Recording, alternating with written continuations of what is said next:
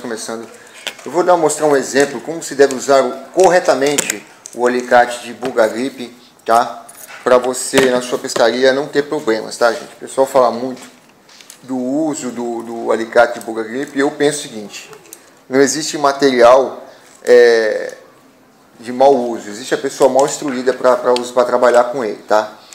Então é o seguinte, é, em alguns casos, por exemplo, de pesqueiro, já, eu até aprovo o pessoal que é, repudia usar isso aqui, tá?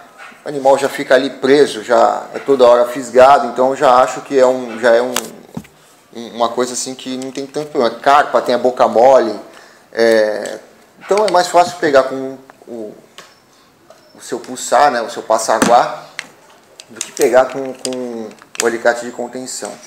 Tá, mas no caso aqui de mar, que é peixe que tá, é muito valente, muito bravo, muito forte, é, roubá-lo, o tucunaré, no caso, na água doce, né? Também se bate muito, então o ideal é que você use o alicate de contenção, porque a até pode escapar e vir em cima de você. Só que tem um jeito certo de usar isso aqui, tá, gente?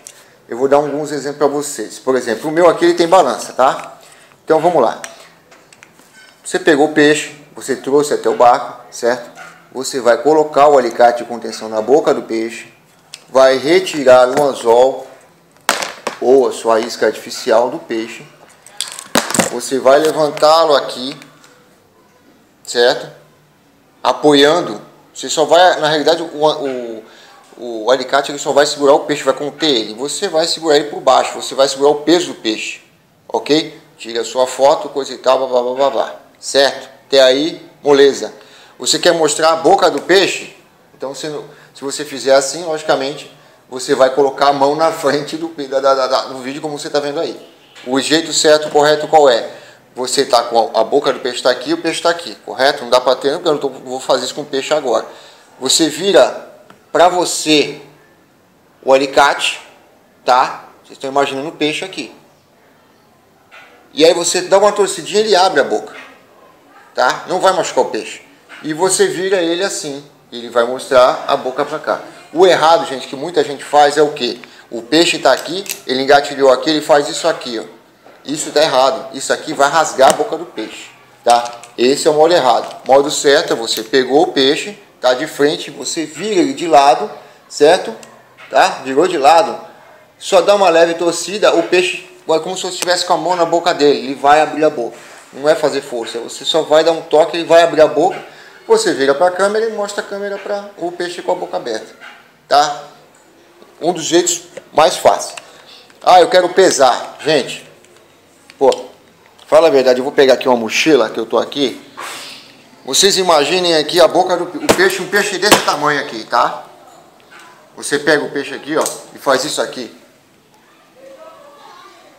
Muita gente acha bonito, tá? Eu prefiro mil vezes tirar foto do meu peixe assim. Eu estou segurando todo o meu peso, o peso do peixe, aqui ó, com o meu braço direito. Só estou contendo ele para ele não se bater. Certo? E devolvo ele para a água do mesmo, da mesma forma. Agora você quer pesar, ah, mas eu quero pesar o peixe e tal. Então faz assim, eu vou te dar um exemplo legal. Pega o seu passaguá, se você é aquele cara que, pô, mas o passaguá deve pesar o quê? 150 gramas? Tudo bem, vai num lugar que tenha uma padaria, alguma coisa de um amigo seu, pede para pesar o passaguá, se você tiver uma disponibilidade de uma balança ferida, pesa o passaguá. O que, que você faz? Você pegou o peixe, logicamente se for muito grande você vai passar o passaguá para tirar ele da água, né? Você pega ele aqui, coloca o seu peixe dentro da... Você faz de conta, gente Colocou, tá dentro do passaguá? Beleza. Agora eu vou pesar o peixe sem ferir ele. Como é que eu faço? Eu ponho ele aqui, ó. Eu estou pesando o peixe. E tiro a diferença da balança. Do passaguá. Certo? Eu não estou ferindo a boca do peixe. O peixe está acomodado dentro do passaguá. E se for o caso de que 150, 200 gramas, eu já feri, eu já tiro a diferença. Tá? Então essa é a dica que eu quero dar para vocês e se você souber usar o seu material de pesca esportiva, desse jeito aqui, gente, vocês vão até no pesqueiro, se quiser pescar e tiver com alicate, ó, eu vou pesar, mas eu estou pesando aqui, ó. Você não está ferindo peixe nenhum, tá? Então comece a utilizar essa ideia aí, ok? Gente, quiser alguma dica, pode deixar o comentário aqui embaixo, eu passo, eu corro atrás para fazer passar essa dica de volta para vocês, ok?